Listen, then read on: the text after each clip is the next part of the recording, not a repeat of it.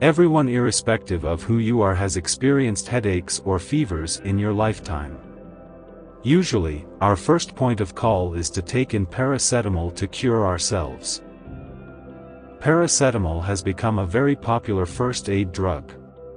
But the question is, do we know how this drug substance was discovered? Paracetamol or acetaminophen commonly known as para, has quite an interesting history.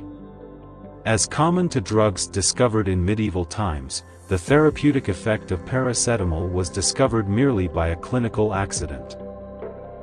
Paracetamol was first synthesized by Harmon Northrop Morse by the reduction of nitrophenol with tin in glacial acetic acid in 1873. However, paracetamol was not used medically then.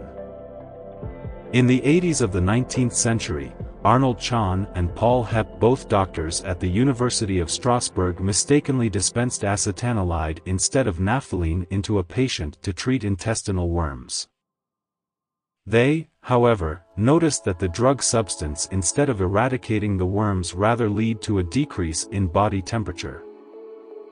The two young doctors quickly published their findings and acetanilide was introduced on the market under the brand name antifebrin as an antipyretic drug.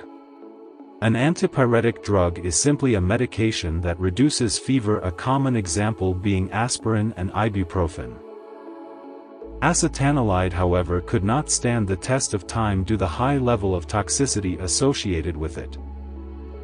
Consumption of the drug leads to methemoglobinemia a condition in which there is less or no distribution of oxygen to the tissues of the body due to elevated levels of methemoglobin leading to shocks, seizures, or even death. Due to this problem, there was a need for research to the conducted to discover less toxic derivatives of acetanilide. Harmon Northrop had earlier synthesized phenacetin and N-acetyl-P-aminophenol and were therefore the compounds under study. A German pharmacologist by name Joseph von Mering performed the first clinical trials with the two derivatives. Joseph von Mering, however made a wrong conclusion that phenacetin was much safer to use as compared to paracetamol. It was later discovered that prolonged use of phenacetin leads to analgesic nephropathy. Fortunately, this error was corrected later in 1948 when Bernard Brodie and Julius Axelrod revealed that acetaminophen was the main active metabolite formed from acetanilide and phenacetin.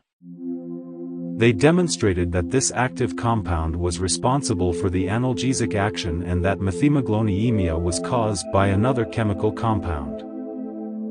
Paracetamol was introduced on the market by McNeil Laboratories in 1955 as an antipyretic and analgesic drug. Tylenol was the first trade name derived from the chemical name N-acetaminophenol. Today, paracetamol has become a household name for painkillers sold under many brand names such as Panadol, Panalex, Panamax, Paramol and many others.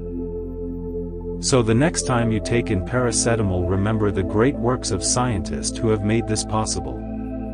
In our next session we talk about the metabolism, therapeutic action and possible side effects of paracetamol.